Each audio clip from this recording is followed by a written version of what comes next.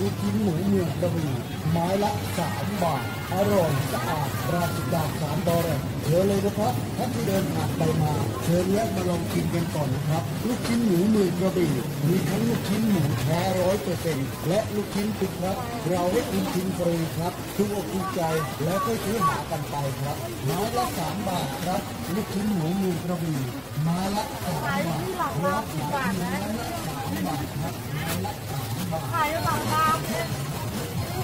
น้องหนีพ่อโอ้โหลูกเปลี่ยนกับแฟนให้แฟนไปร้านรถน้องหนีเองมันไล่เขาอย่างเดียว